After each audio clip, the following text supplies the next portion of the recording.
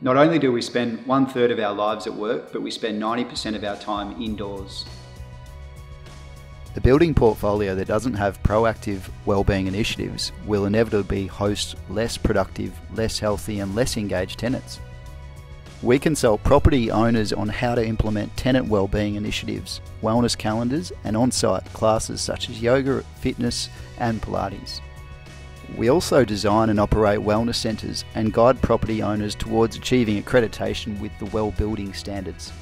Previous initiatives such as tenant portals, modern end of trip facilities, and open plan foyers are now an expectation of tenants. For modern workplaces, inbuilt wellbeing initiatives and integrated health solutions are the future amenity. Is your property portfolio ready for the wellness revolution?